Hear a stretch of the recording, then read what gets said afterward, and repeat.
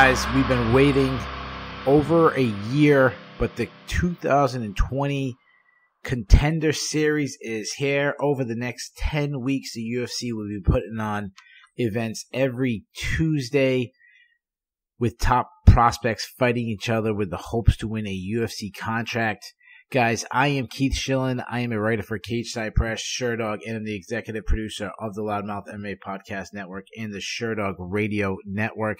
I will be giving you my breakdown of every single fight during this series. I'll be giving my predictions, telling you who I think wins contracts. If you're not familiar with the Contender Series, this is how it goes.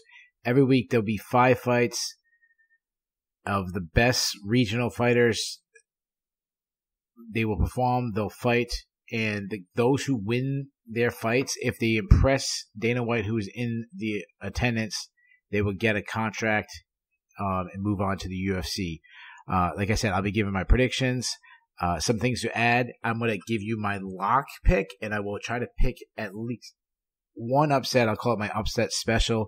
Uh, I've been doing, well, I've been a fan of MMA since I watched UFC 6 when I was 13 years old. Uh, but I've been doing the media prediction game for about three, three and a half years now. I would say the thing that I'm most known for, or probably got the most props, is my contender series preview. Uh, it used to be a written form. It first started when I was on Fansided uh, in the 2018 season. It was a pretty in-depth write uh, write up and predictions. I brought that over to Sherdog last year. Um, and now in 2020, now that I'm doing the Sherdog Radio Network, I said, let's do it in a podcast form. It seems like people would probably appreciate that more. So let's get to it. Uh, we're supposed to have five fights, but just breaking news, of course, after I've done film study, James Lynch, who I think might have been the first person who announced this fight, announced that Kenny Cross would take on Demonte Robinson uh, it looks like that fight is actually not going to happen. Demonte Robinson has not been cleared to fight according to James Lynch. Uh, James Lynch is obviously a very credible media member, so I'm going to take his word for it. Uh, just for curiosity's sake, if you wonder who I was going to take, I was going to take uh, Cross. I was very confident he was actually going to be my lock pick. Uh, so I'll go with a different lock. But let's get right into it, guys. uh, first fight we have Jose Luke Flores taking on Jordan Leavitt. Let's look at uh, Mr. Flores first. Flores is 32 years old. He's he's a fighter coming out of Texas. He's been really inactive lately, as he's only fought three times in the last three years. Uh, he is a Dana White Contender Series veteran. Uh, but he, when he fought in the very first season, but he lost to Matt Frevola. Um, since then, he's been fighting in Combates America, where he's gone two and zero. Oh, but one of those wins, uh, I, I got to mention, was a a victory where he got uh, the, the fighter broke his arm like almost immediately at the beginning of the fight, so it wasn't uh, the most impressive win. Uh, Flores is southpaw. He tends to keeps his hands kind of low. Um, he marches forwards with his hands low. Um, he throws a lot of kicks and they're hard kicks uh, to the body. Uh, Leavitt could really take away uh, some of that effectiveness by fighting in the southpaw stance, something that Leavitt does. Leavitt likes to switch stances.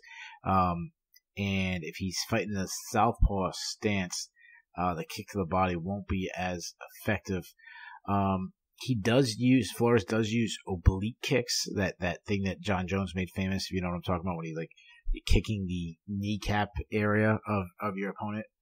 Um, another thing I like that he does is he uses step in knees, which going back to all my all the way my time um, doing calling a fight with my good friend David Chicken Palm Stewart, which we got to bring that back.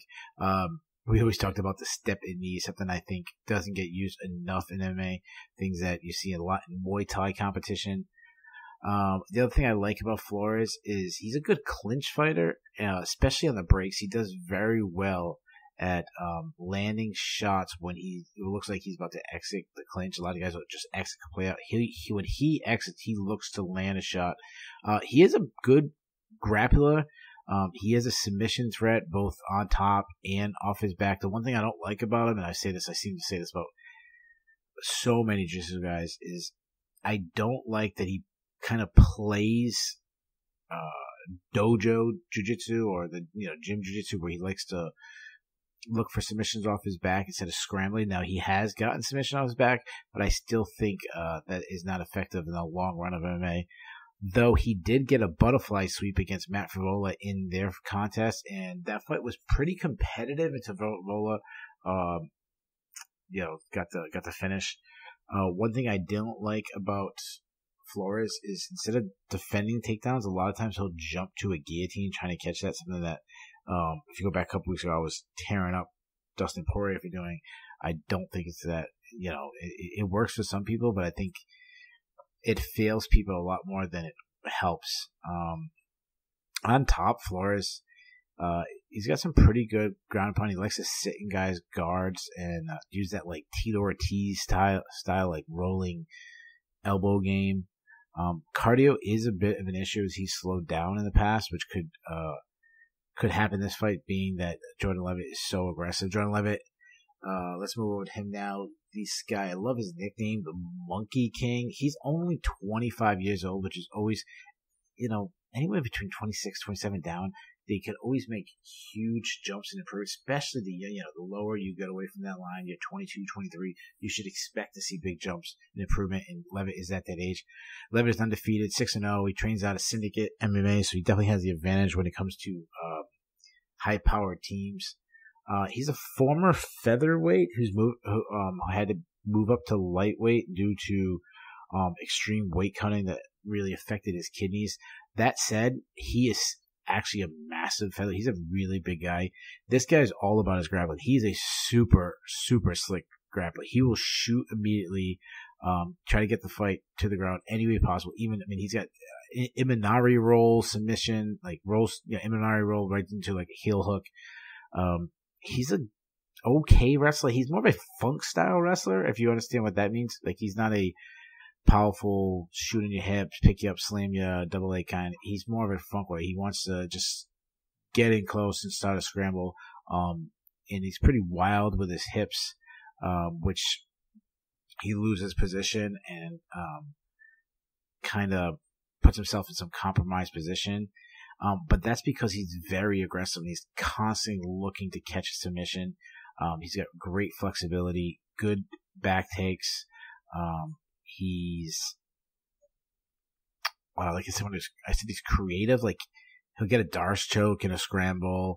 Um, he had this one really good Kimura when he was an amateur that was super slick. Uh, I saw him get a crucifix in one of his fights. Um, kind of like makes up moves as he goes. Like he was in these weird positions, you never where he's going to be.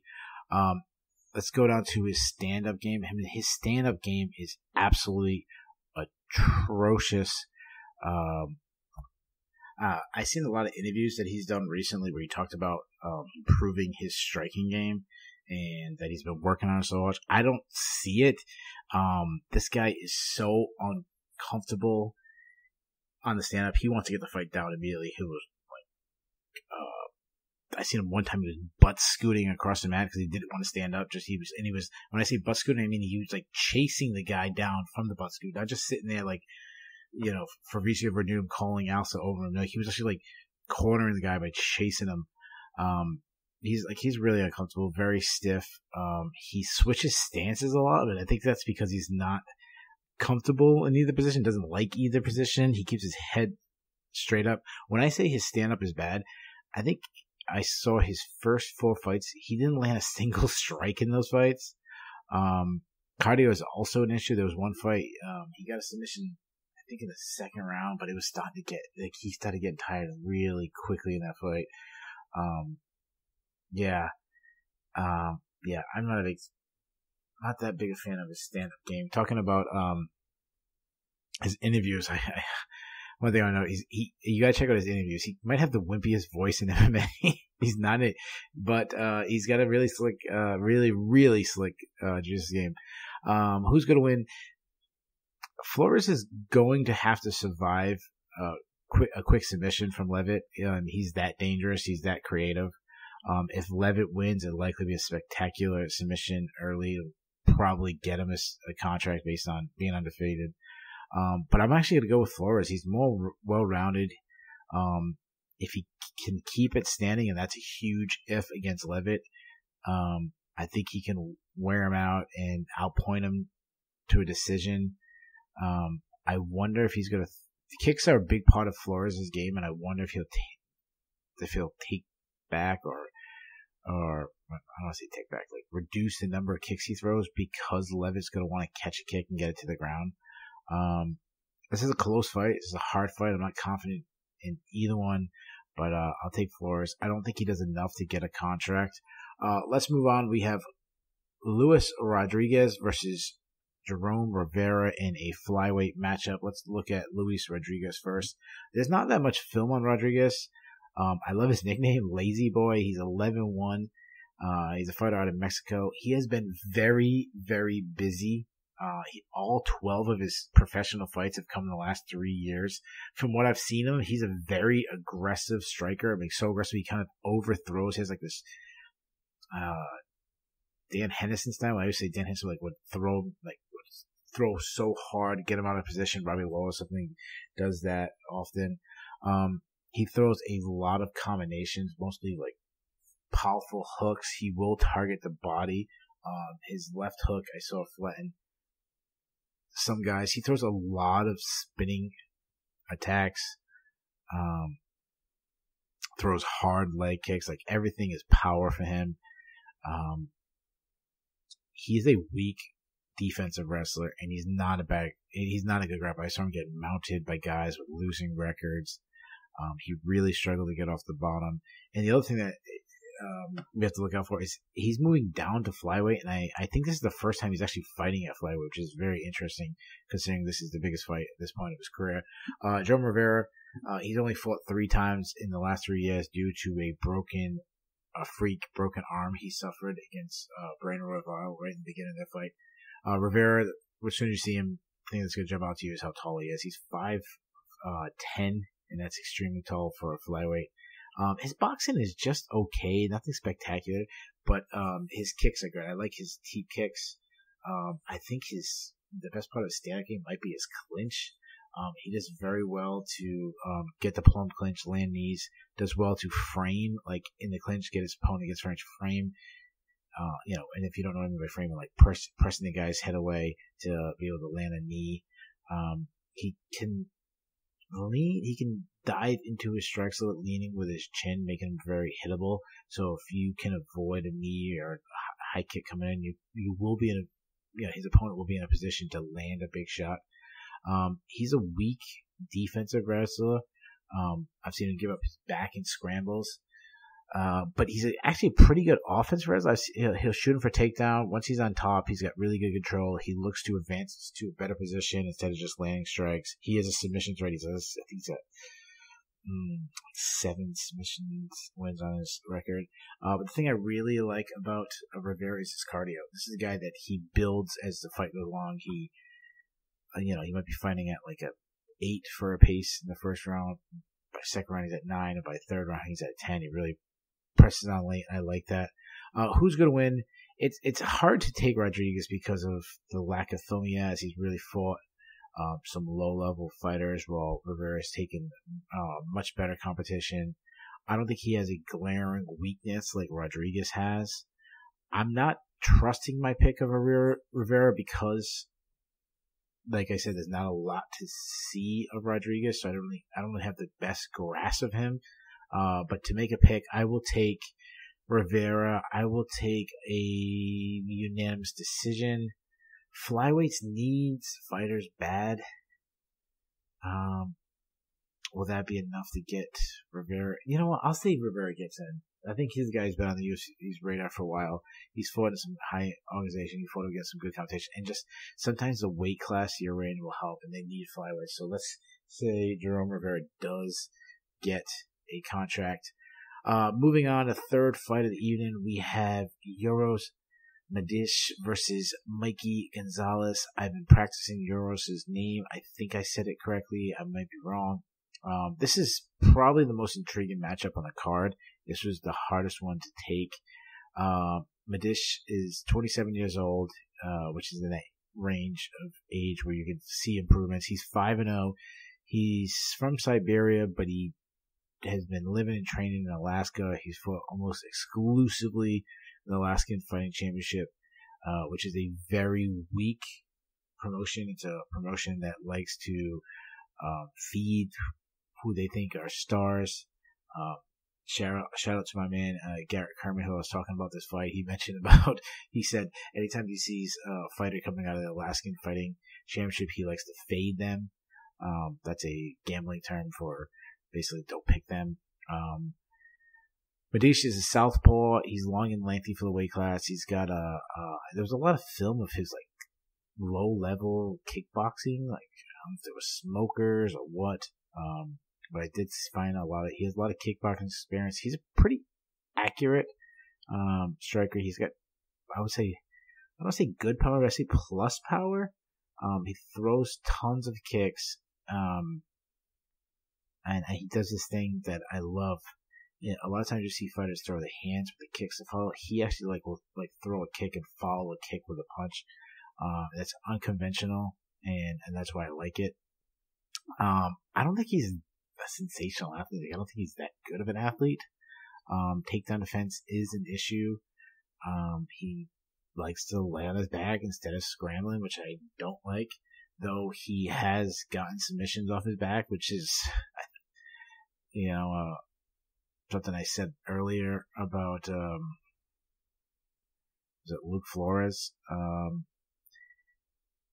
Medic when he's been on his back, he looks for knee bars, he looks for heel hooks, he like, like he likes attacking the legs. Um, cardio is a major question mark. Um, I haven't seen him slow down, but when I say question mark, is that simply because he hasn't gone past the second round.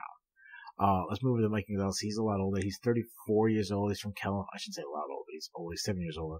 Uh, he's 34 years old. He's from California. He's on a four fight winning streak. Uh, though I should point out that he has really fought some low level competition. You could argue even worse than the competition uh, Medic has fought in the Alaskan Fighting Championship, um, which is probably why I'm intrigued by this because it's probably the hardest fight to pick. Um, when I say he's fought low level fighters, he, only two of his wins have gone against guys with a winning record. Um, on the feet, he has this like karate or taekwondo type style, traditional martial arts style. He he's in a very bladed stance. Um, he likes to fight from both positions, but I would say southpaw is in more dominant position. He has some pretty good snap on his punches. He loves this hook kick. Uh, he does well to keep his distance. Um, he keeps his hand. He puts his hands in front of him, like grabs at his uh, opponent's hands that he uses well, uh, very well to, to, figure out his own striking range. Um, he loves T kicks down the middle. He loves to attack legs. He'll throw spinning attacks. Um, some of the negatives, he keeps his hands too low for my liking, which I think loses a lot of punching power. Um, as I mentioned earlier, he throws spinning attacks, but I think he just he throws it a lot and without a game plan. Like I don't feel I feel like he just kind of has it in mind, like okay, uh, okay, now, oh, now I should throw a spinning attack instead of like seeing an opening. Or, or I think he just thinks like just a part of the game that every once in a while to throw a spinning attack.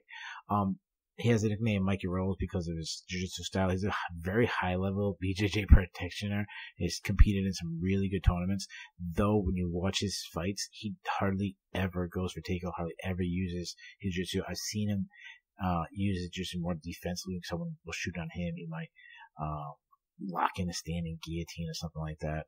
Um, cardio also is an issue. He's only gone decision once, and in that one fight, it was only actually it was only a a nine minute matchup. It was three three minute rounds, and that was because they were fighting California close to where California were having fires, and the fires affecting the air quality in the area. Um, who wins this fight? Um, I'm making this my upset pick. I'm going to take Mikey Rolls. Uh, like I said, it's very hard to trust either guy as they both fought against some really low level. But what I've seen of Rolls, he's styled on his competition. Well, but just has it. Like Rolls was very comfortable, having fun out there. Um, give me Rolls by unanimous decision. I think he's flashy enough uh, to be, you know, remembered, and I think that'll get him a contract with UFC. So I will say, Mikey Rolls gets a contract with UFC. Uh, going on to the main event, we have Ty Flores versus Dustin Jacoby. Uh, start with Ty Flores. I didn't like what I, I saw film with Ty Flores. Ty Flores is this lumbering, unathletic fighter. He's he's long and lengthy. He does throw a lot of kicks. He ends his combination with kicks, which I do like. Um, he will go for a takedown. Uh, I, let me back up. I don't go to wrestling. Um, but that's about it he does. I mean, when I say throws high kick, that's about it. Um, his striking is ugly, um, fairly slow. Uh, he will go for a takedown himself and is a submission threat, but his takedown defense is really bad. Like there was, uh, I forgot which matchup he had. Uh, the guy was shooting on him and like, was slamming him. Um, Dustin Jacoby's 32 years old. He's a, a, veteran of Bellator and he's actually fought in the UFC in the past. Um, probably forgotten as he went 0 2, losing to not the best competition, Chris Camozzi and Clifford Starks. Um, he's also lost to John Salter, King Mo. He fought um, PFL or might have been World Series fighting back then. Dave, yeah, was because was World Series fighting. Uh, David Branch. Um, he does have some quality wins. He beat Tim Williams, Andrew Sanchez, Cody Yates, all those guys, UFC uh, veterans. And he has fought one MMA fight in the last four and a half years.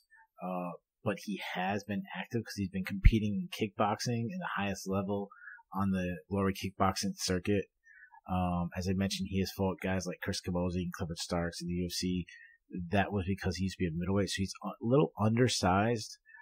Um, I'd say little. Like I don't think I don't think Flores Flores is gonna be bigger than Flores is actually tall um, for the weight class, but Flores I don't think is gonna be towering in size.